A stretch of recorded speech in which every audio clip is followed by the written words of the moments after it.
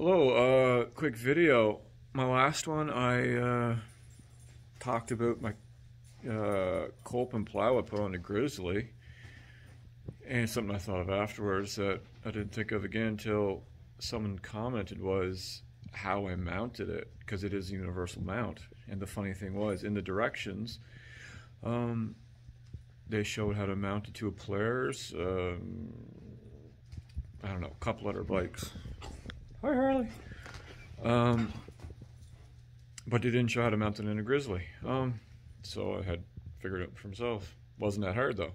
Um, so I'll take you along, show you right quick what I had to do. Okay. Bear with me, get down on the floor. All right, what I had to do was, you can see, I had to remove my uh, skid plate from here. Now, maybe there was a way to mount it without this, without removing the skid plate. Probably have to drill some holes or stuff, but the way I looked at it was, um, this bike's not going to see no bog or nothing until the spring. The most it's going to see is yard work and uh, plowing, so I'm not worried about undercarriage. Okay, so, I don't know how well you can see there, but um, we try to set guys up. Okay, a bit of light there somewhere. Okay. All right, the kit comes with a few pieces because obviously it's universal. Um, so, oh, it's kind of hard to see. Um, but I only had to use the one piece.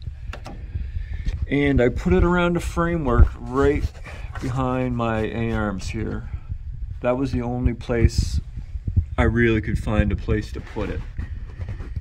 Um, like I said, right behind the A-arms. Uh, yeah. I don't know how uh, good that really explains it. These were a fucker to put on. 13 mil, but god damn. So much threading. Um, these pins that's what came with it. I'm gonna uh, change this out to the, I don't know what they're called, but they're like two inches long with the clip attached to them. A lot easier to take those out. Um, yeah, not quite sure what else to tell you.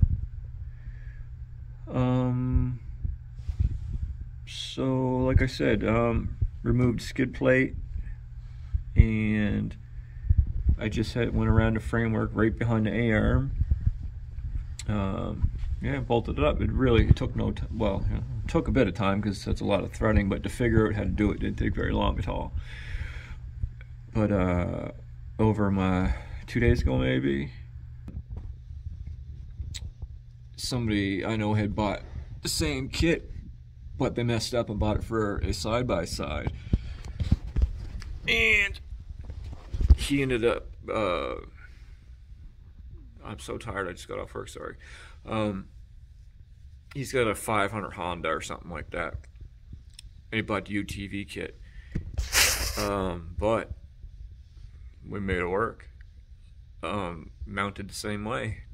So, just so you know, ATV and UTV kit, nothing was really no difference it all looked the same. Only thing was the UTV, you could go from 60 to 72 inches, and this one's 48 to 60, so yeah.